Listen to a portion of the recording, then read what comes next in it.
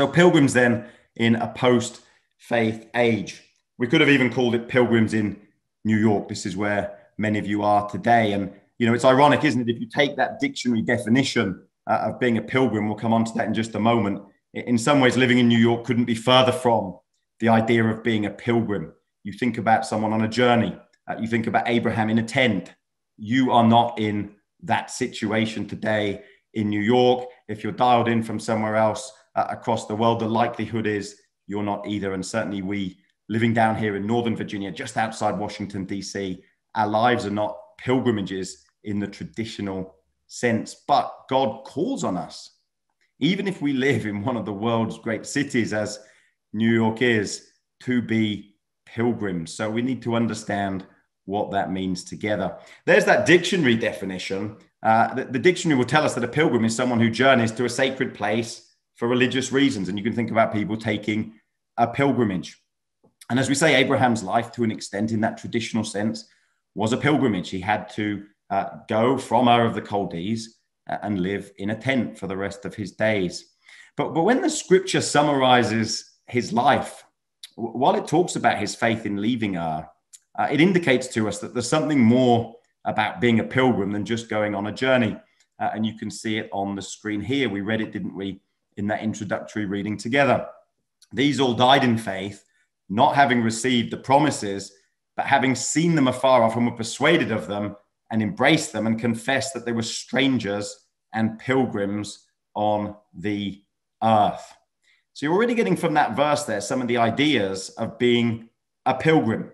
Uh, and we're going to use Abraham, uh, as I say in our first class here, to really lay out for us what it means scripturally to be a pilgrim. So let's go then to uh, Abraham, uh, to, uh, to our first class. We've taken uh, that phrase there from Hebrews that he looked for a city which hath foundations. and as we'll see, one of the principles that we're going to develop today with Abraham is this faith, this vision, this vision for the future, this desire for the kingdom. Uh, this is indeed one of the pilgrim principles that we're looking to establish together.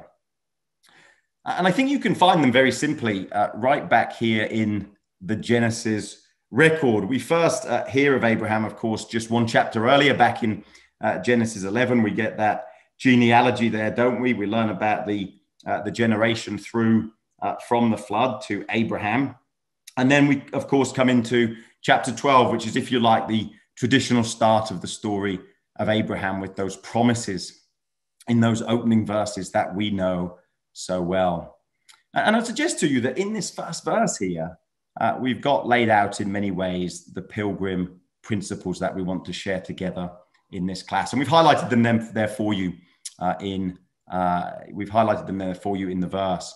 So three things then. The Lord had said unto Abraham, get thee out uh, of thy country and from thy kindred and from thy father's house unto a land that I will show thee. So these then are the three pilgrim principles that we want to develop in the class here together this morning. The first one uh, is you have to get out. Abraham, you have to leave Ur of the Chaldees behind. Uh, and we'll have a look at what it was scripturally that Abraham was asked to leave behind. The first step is one of separation, it is one of withdrawal, of coming out of the world.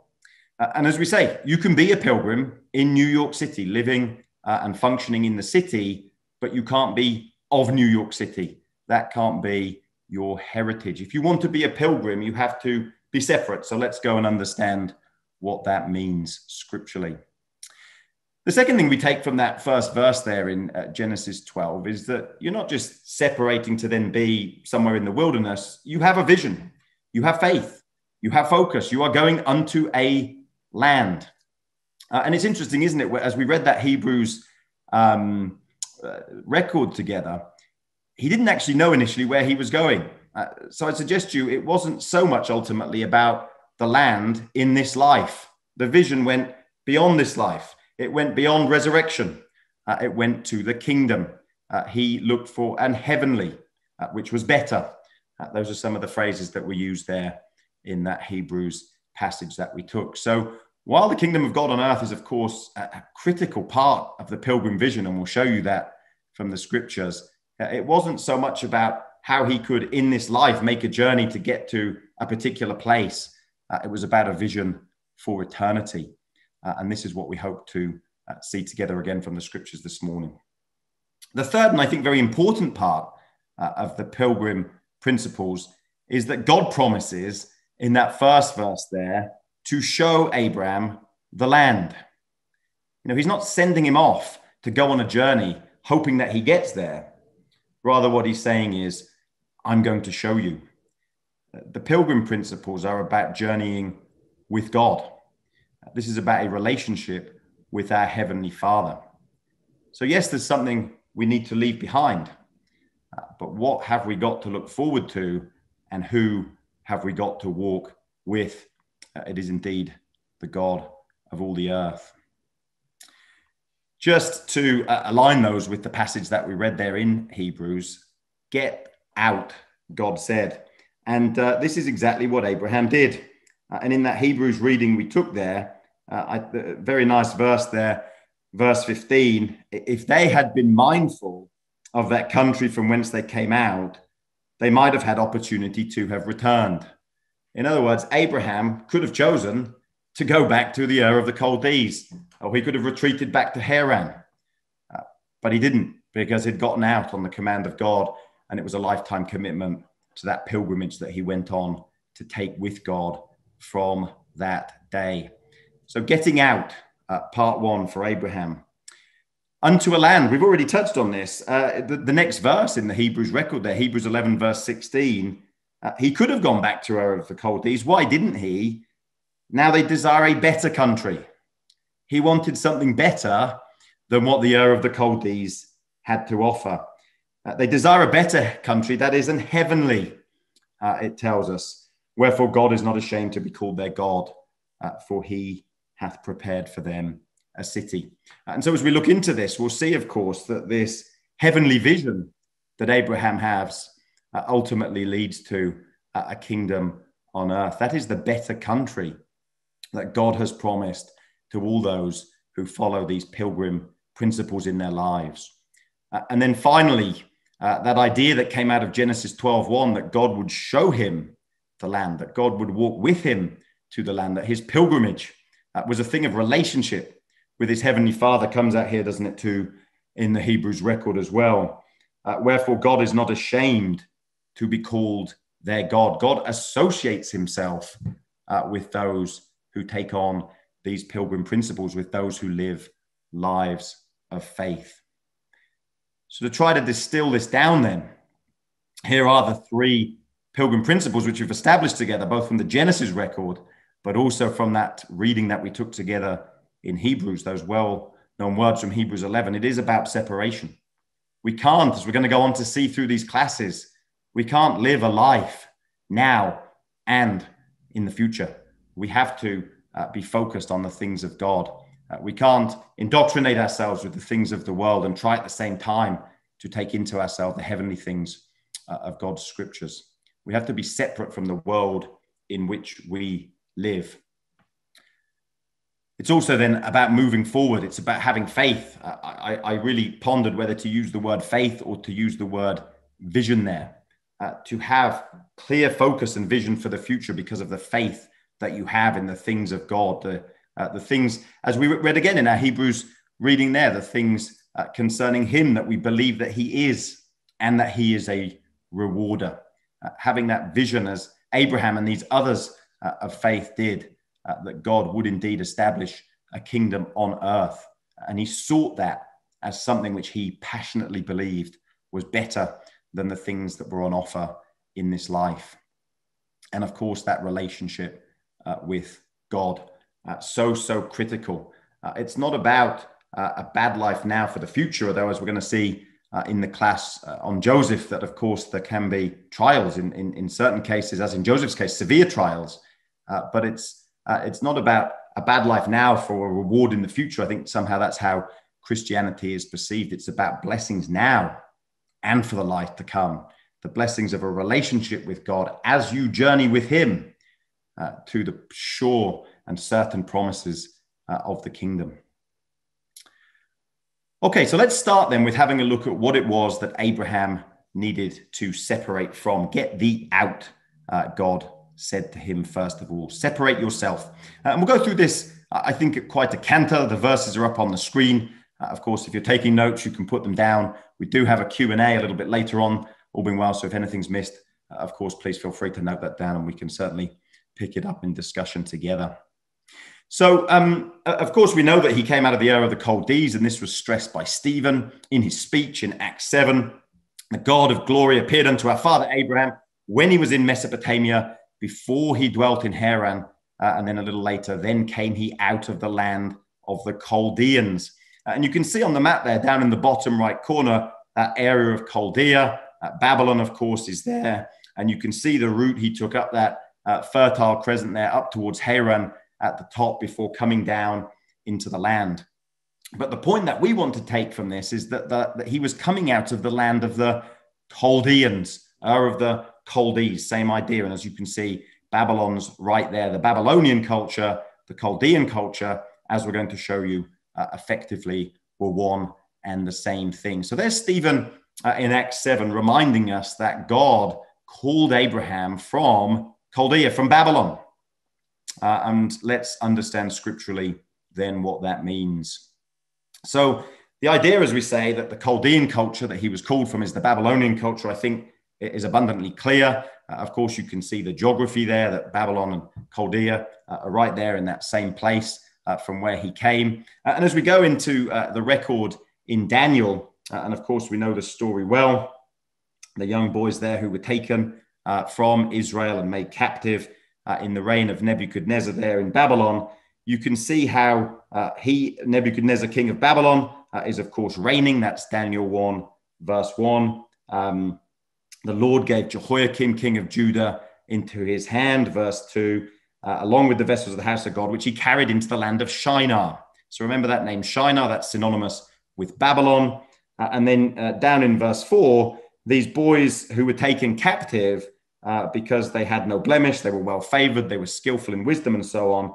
Uh, they were going to be taught the learning and the tongue of the Chaldeans. That, that's what verse 4 of Daniel 1 tells us. In other words, when you're taken into Babylon, the culture that you're going to learn is a Chaldean culture. Now, obviously, this uh, comes sometime after Abraham, uh, but I'd suggest to you that by the time Abraham was called from Ur of the Chaldees, uh, he was being called from the same culture uh, that prevailed at the time of Nebuchadnezzar here in Babylon. Uh, and I would suggest to you that culture still uh, prevails today. So, this is the culture then that Abraham was called from. Let's go learn from the scriptures a little bit more about it. Well, firstly, uh, here in Joshua 24, quite straightforward, of course. We know that in Babylon there were other gods being served, and this was certainly happening at the time of Abraham. Uh, when Joshua, right at the end of the book, uh, is settling the people down into the land, he speaks to all the people and he says, Thus saith the Lord God of Israel, your fathers dwelt on the other side of the flood in old time, even Terah, the father of Abraham and the father of Nahor, and they served other gods. So this was the starting point. This is what it was that Abraham was being called from a family, an environment where they served other gods. Uh, and of course, as we say, the culture was one uh, of Babylonian worship, of Chaldean worship uh, in its earliest sense. In terms of origins, uh, of course, this starts even earlier. It starts with Nimrod. Uh, and in the genealogies there, this man is called out, isn't he? Uh, Cush begat Nimrod, we learn in Genesis 10. He began to be a mighty one in the earth. He was a mighty hunter before the Lord uh, and the beginning of his kingdom was Babel in the land of Shinar. Well, we've already seen the land of Shinar. That was there uh, at the beginning of Daniel, wasn't it? It's the area uh, in which Babylon, uh, of course, existed. The beginning of his kingdom was Babel, which became, of course, Babylon. The spirit that Nimrod had was that he was against or in the face of the Lord. That's what that word there really means. Uh, it's not suggesting that he was one of God's mighty hunters, but rather he was in the face of God. He was against God. He uh, was building uh, Babel in the land of Shinar. Uh, and you can see that spirit in uh, Genesis 11 as uh, the people there set about to build the Tower uh, of Babel. Uh, you can see where the focus is very clearly. The scriptures uh, don't hide it, do they? Let us build us a city. Let us make us a name. And I suggest to you that this is the spirit of Babel, the spirit of Babylon, the spirit of Chaldea from which Abraham was called that we want to do it for ourselves, that we uh, are important, uh, that it's our name uh, that we want to preserve. This is the spirit of Babylon uh, from which Abraham was called. Uh, and of course, uh, that spirit, as we say, continues. it's there back in Genesis 10 and 11 with Nimrod and with the Tower of Babel. It's clearly here at the time of Nebuchadnezzar. you might remember, of course, that he had the dream in in Daniel 2 of the image. And God very clearly lays out in prophetic terms exactly what he's going to do with the kingdom of men, that one kingdom would rise up after another until eventually, uh, of course, uh, the Lord God himself would set up a kingdom that would never be destroyed. Uh, and it, it's interesting, isn't it, how Nebuchadnezzar re- reacts to this? It, it, seems initially positively, uh, but just verses later in chapter three, uh, he's here in the face of God. God said, This is what's going to happen. You know, there will be one kingdom after another until uh, I set up a kingdom. Uh, and Nebuchadnezzar says, No, Babylon's never going away. He made his image purely of gold. Uh, he made this gigantic statue. He put it up uh, there uh, on the plains near Babylon, uh, and he called for all people to bow down to it. and you might remember those three faithful men who were stood there Hananiah, Mishael, and Azariah. We will not bow down to your image we will not worship your gods. So here is the spirit of Babylon, alive and kicking at the time of Nebuchadnezzar, as you would expect it to be there in Babylon, in the face of God, against God, uh, human pride, human haughtiness, a disregard for the sure and certain word of God. Well, at the time of the Lord Jesus Christ, then, uh, we'd suggest to you that this spirit is still absolutely there this idea of being against God. Uh, Psalm 2 illustrates this very clearly for us, doesn't it? Why do the heathen rage and the people imagine a vain thing? The kings of the earth set themselves and the rulers take counsel together against the Lord and against his anointed. Uh, so at the time of Jesus Christ, this spirit was there. It was there in the Roman rule of the day, but it had also heavily infiltrated uh, into uh, the religious leadership in Israel at the time. Uh, the kings of the earth set themselves, the rulers took counsel together against God, against his son, the Lord Jesus Christ. Um, and this is picked up in the teaching of the apostles uh, in the Acts very clearly of a truth against thy holy child Jesus, whom thou hast anointed, Herod, Pontius Pilate, the Gentiles, and the people of Israel were gathered together all of these came together against the Son of God. Uh, and there was the spirit of Babylon alive at that time. And it tells us that, you know, in going against Jesus, Pilate and Herod came together as friends. There's a joining together uh, of people against God and against his son, the Lord Jesus Christ, as they crucified him. This is that same spirit of Babylon uh, that was alive then at the time of Jesus Christ. Uh, and let's bring it to today, um, as Peter instructs, knowing this first, that there shall come in the last days scoffers, walking after their own lusts and saying, Where is the promise of his coming? For this they are willingly ignorant of, that by the word of God the heavens were of old. Spirit of Babylon, my dear brothers and sisters, has been there from the time of Nimrod, even the time of Cain, all the way through uh, to the age in which we live today. And what did God say to Abraham? Get thee out. Uh, and, you know, here's where it's heading. This is where the spirit of Babylon, the kingdom of men, uh, is going. Uh, here's physical Babylon, the glory of kingdoms, the beauty of the Chaldees' excellency. It shall be, uh, the prophet says, as when God overthrew Sodom and Gomorrah. It shall never be inhabited. neither shall it be dwelt in from generation to generation. And you know, you can think of many ancient cities which still exist today. You can still go and visit Rome. Uh, you can go to Jerusalem. Uh, if the border wasn't closed, you could go to Damascus. You can't go to the city of Babylon because God has followed through on his prophecy. If this is the end of physical Babylon, then so too spiritual Babylon. Uh, as the Lord Jesus Christ himself instructed in the Revelation, Babylon the Great is fallen, is fallen, and has become the habitation of devils. Come out of her, my people. What did God say to Abraham? Get thee out. Come out of that Chaldean culture. Come out of that Babylonian culture uh, and come with me to the land of promise. It is exactly the same call here from the Lord Jesus Christ to all his faithful. We need to leave behind the spirit of the age, and we need to, as pilgrims, focus our vision on the kingdom of God and walk with God on the way to life. So, clearly, then, uh, that first principle, you have to separate yourself.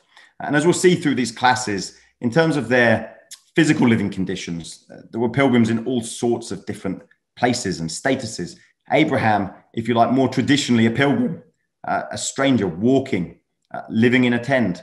But others, like Joseph, as we've already referenced, they're in Egypt, like Daniel and Hananiah and Mishael and Azariah in Babylon. You can be a pilgrim uh, in any setting if your mindset is the right one. And the first part of the mindset has to be separation from the spirit of the age. So when we talk about pilgrims in a post faith age, as I say, it's not for me today to sit here and give my own view on the world that we live in. You all experience that yourselves, you all live in it in one sense or another. The very clear call of the Bible, uh, of our God, is to separate, is to get out. Uh, and as we know, it's not about doing that necessarily physically. It, it was for Abraham, but it absolutely about doing it in our minds uh, and in our hearts. Well, as I say, God doesn't want us just to separate to then uh, have no purpose, but rather uh, there are better things for us. Uh, and of course, uh, we're now looking at that with this idea of having faith, having a vision, uh, heading towards the land. So let's then turn to Abraham and let's see how he had faith, had a vision. Um, Uh, as he got out of Ur of the Chaldees, as he escaped from that Babylonian culture where they worshipped other gods, the spirit of let us build us a city was replaced by something. He looked for a city, we read in Hebrews, which hath foundations, whose builder and maker is God.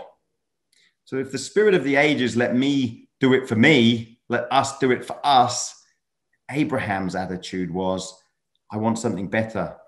I want something that has foundations. I want something that is from God.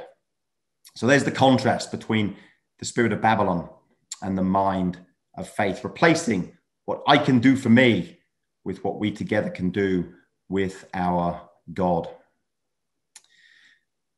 What was the other thing that was there in Genesis 11? It's let us make us a name.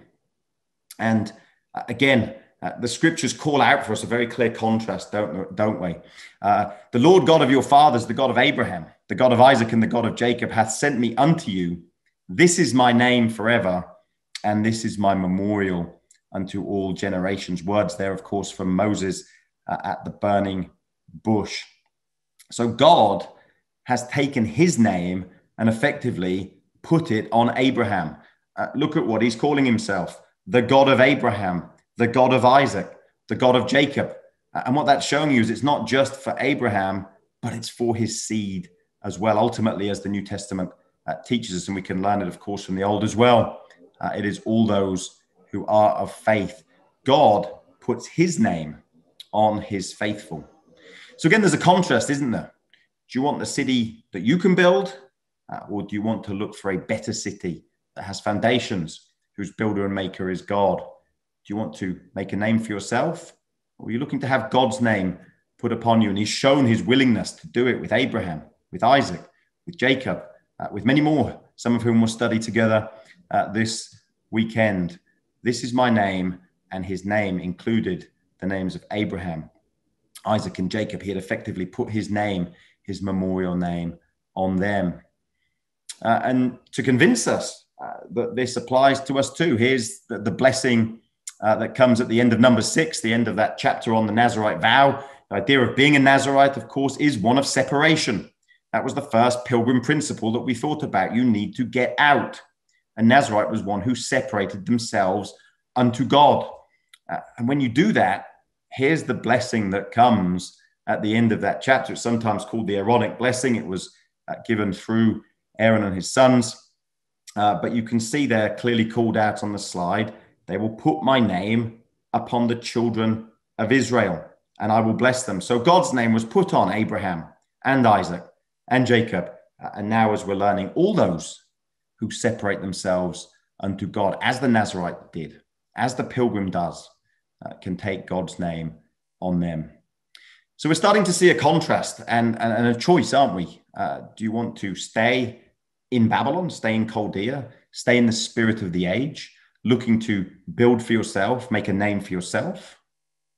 Or do you want to be a pilgrim who walks with God, who looks for a better city, who looks for the name of God to be put on them? Here is the contrast that the scriptures are clearly calling out for us, my dear brothers and sisters.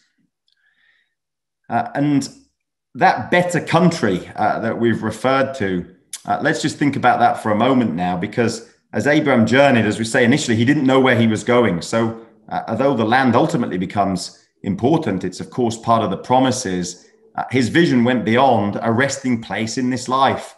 Um, if you then be risen with Christ, seek those things which are above, where Christ sits on the right hand of God. Set your affection on things above, not on things on the earth. He was thinking about a better country that isn't heavenly. Uh, his vision wasn't for what he could get in this life. Uh, his vision was for something better. His faith uh, was for something stronger. Because when Christ, who is our life, shall appear, then shall he also appear with him in glory. Uh, the apostle writes. Now, of course, as we say, uh, the kingdom of God on earth is, of course, part of that heavenly vision. the words of the hymn book here uh, for me were very pertinent as I was thinking about this. God has in store for us his heavenly kingdom from which his son on earth shall reign. So Abraham had a, had a heavenly vision, he had a godly vision. Uh, first and foremost, he was thinking about God uh, and his promises and his covenant uh, and his relationship with him and his name. Uh, and then he also understood that part of that relationship, part of the promise, uh, was, uh, of course, this inheritance on the earth, but not uh, in that in the life that he was living, uh, a promise for the future, uh, a promise with the Lord Jesus Christ when he will set up, as we believe, his kingdom on earth. So let's not in any way detract from that part of the vision. There is a land which you will receive, God said to Abraham, Genesis 13, 15. I'll give it to you and to your seed. But as you can see, the promise is forever. This is a promise for the kingdom. This is a promise for eternity. And, and it's interesting uh, that when God made that promise to Abraham, uh, and he believed it, of course, that was uh, something that Abraham really stood out for, wasn't it? His willingness to believe and to trust in God. Uh, that the next thing he did was remove his tent and he came and dwelt in the plain of Mamre, we're told, which is Hebron, and built there an altar to the Lord. So, on receiving that promise of the land, uh, Abraham journeys to Hebron. And of course, it was here uh, that he uh, acquired the cave uh, in the field of Machpelah and buried his wife Sarah there. You can see that in Genesis 23 19, as we've got on the screen there. After this, Abraham buried Sarah, his wife, in the cave of the field of Machpelah before Mamre, the same as Hebron in the land of Canaan. And as we go through uh, the Genesis record together, we find that there are many uh, who were buried uh, in that same place. Sarah, of course, as we've already mentioned there, uh, she ultimately in Hebrews 11, uh, as we uh, read, got called out for her faith. Abraham himself was buried there. Isaac, we learn, was too. his wife, Rebecca, Leah was buried there. Jacob tells that story, and Jacob himself buried there as well. Uh, so Abraham and his seed will inherit uh, the earth, will inherit the land. At the moment, they sleep in the dust of the earth, and many of the faithful uh, are buried here in Hebron, the place that Abraham went to immediately after receiving that promise. Uh, this is the place from which they will arise uh, to receive the kingdom, God willing, in the future. So, to the third and final then of our pilgrim principles. We've thought about the idea of separation, uh, of leaving behind uh, the spirit of the age, the spirit of Babylon, uh, of having a vision uh, for things above, uh, for things that are better, uh, for an heavenly kingdom, which will, of course, be on the earth. the final part then of our first class is to see that God walks with us all the way on this journey. I will show you the land, God said to Abraham. So, uh, thinking then about our God and his involvement in our lives, and there's much that we could go through in terms of passages uh, together, uh, looking at how step by step, event by event, God walks with Abraham, helping him, guiding him, encouraging him, admonishing him, uh, helping him become an ever more faithful servant. It starts there in 12 verse 1 with, I will show you the land. We're going on a journey together. A little later uh, in Genesis 15, uh, when Abraham's really starting to wonder, uh, not a lack of faith, but a, a really a desire for understanding of how the things God has promised him are going to come to pass, considering that he still at that time remains seedless. And God says to him, uh, he came to him in a vision and he says, Fear not, Abraham, I am thy shield uh, and thy exceeding great reward.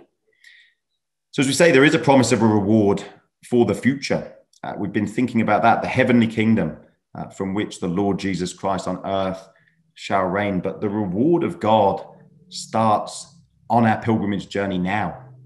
God is with us now uh, as we journey to the kingdom. I am your shield and I am your reward. God in your life is reward in itself. God walking with you uh, is part of the blessing uh, that you receive as you head on the way to the kingdom.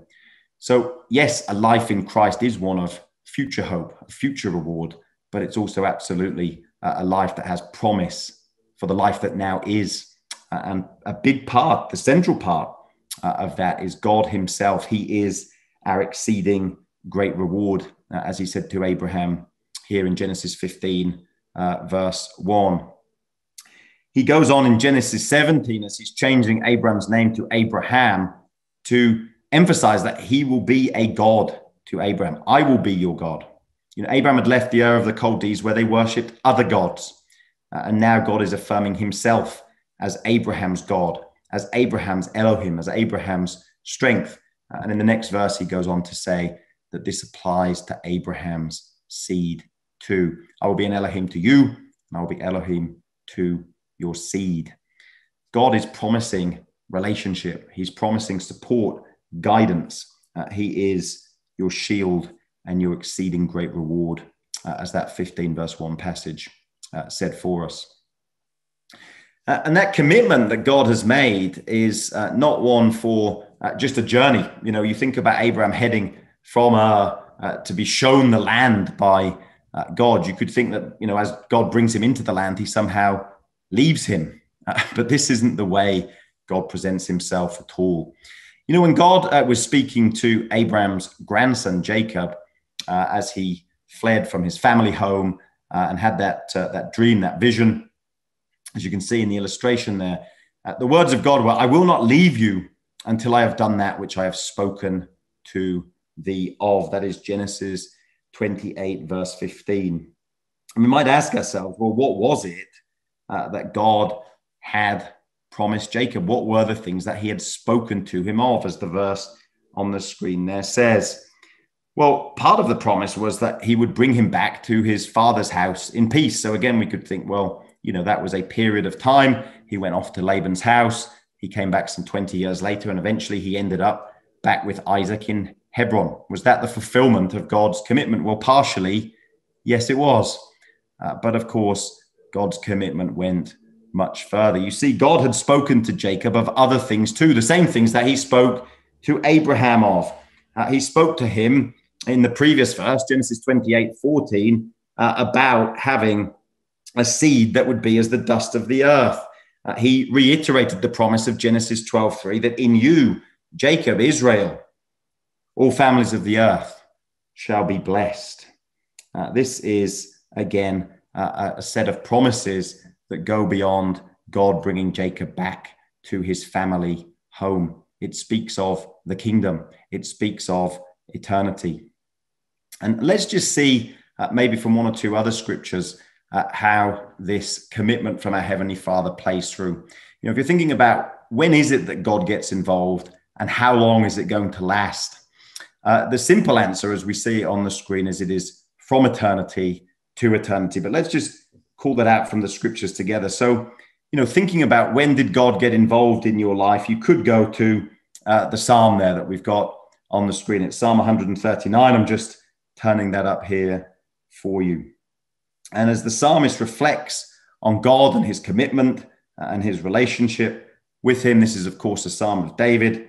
Uh, he says, You have possessed my reins, you covered me in my mother's womb. Uh, I will praise thee, for I'm fearfully and wonderfully made. Marvelous are thy works, and that my soul knoweth right well. So, when did God get involved in Abraham's life? Let's use him as an example.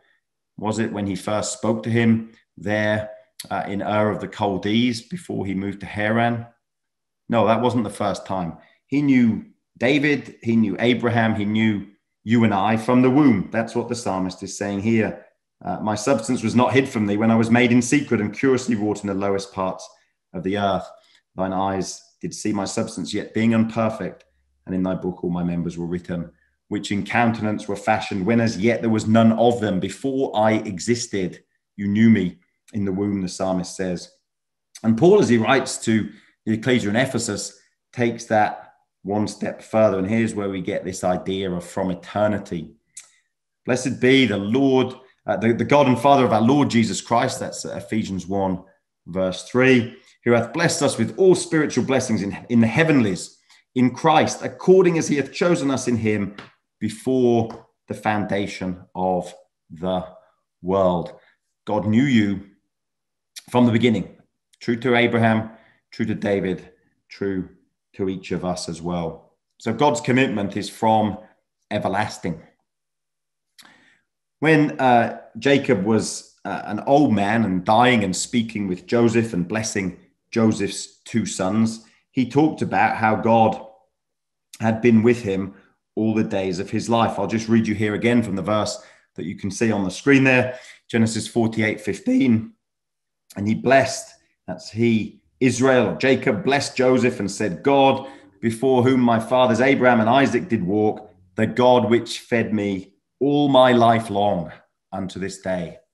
You know, all the way through to the very end of my life, God has been there with me. You know, so when you think about God doing what he promised he would do to Jacob, bringing him back to his father's house in peace, uh, this was just a small part uh, of what he had in mind. He was with him every day of his life. He was with him all the way through to eternity, uh, as the Lord Jesus Christ taught when asked about the resurrection. Because uh, here, the clear teaching of Christ is even when you die, God's commitment to you uh, is absolute. Uh, he was asked about the resurrection, and he said, Now that the dead are raised, even Moses showed at the bush when he calleth the Lord the God of Abraham and the God of Isaac and the God of Jacob, for he is not a God of the dead, but of the living, for all live unto him. Now, clearly, at the time of Jesus, Abraham, Isaac, and Jacob were asleep in the dust of the earth. Uh, it's clear and, and his commentary is one on the resurrection, uh, not on eternal life in heaven. But the resurrection, so sure, he says, it's as if they were alive unto God. God's commitment to them hasn't changed one bit because they passed away. So we're seeing here then a God who will not only uh, show Abraham the land in terms of going on a journey with him from Ur of the Chaldees to Haran uh, and down into the land of Canaan, Abraham didn't even know where he was going. we read in, in the book of Hebrews. And his vision, first and foremost, there wasn't for uh, a short term inheritance uh, in the land before he died. Uh, his vision was for eternal uh, life in the kingdom uh, and to inherit that land forever with his seed. The God who said he would show him the land intends to do that when the Lord Jesus Christ returns to set up his glorious kingdom. He showed him the land, of course, in one sense, as he walked with him uh, through it. He was instructed, wasn't he, to walk its length and its breadth, its breadth. But the inheritance comes, uh, as that Hebrews passage taught us, in the future. As God said to Joshua as he was about to enter the land, I will not fail thee nor forsake thee. This is the commitment of our God. It is resolute, it is unflinching. He will not fail nor forsake. If we choose the pilgrim life, if we are prepared to separate, if we have a vision of faith, our God will show us the land. He will not fail nor forsake, as he makes uh, abundantly clear here to Joshua. So, there then, brothers and sisters, are the pilgrim principles. We saw them in Genesis 12, verse 1. Uh, we saw them in Hebrews 11 to separate from the spirit of the age, to have a vision uh, of God's heavenly kingdom uh, in which his son, the Lord Jesus Christ, will reign on earth, uh, and to walk with God in covenant relationship with him as we head towards that time of blessing. So, then in summary, we have, uh, as Joshua laid out for those uh, children of Israel at that time of settling into the land there at the very end of the book, we have a choice. Uh, and this is what Joshua says you can choose this day who you're going to serve whether it's the gods which your fathers uh, served that were on the other side of the flood, that was the gods that were served uh, by Terah and Abraham and Nahor, uh, or the gods of the Amorite uh, in whose land you dwell. But as for me and my house, we will serve the Lord. Uh, we will take the choice uh, of being pilgrims, of walking with God, and of having a heavenly vision.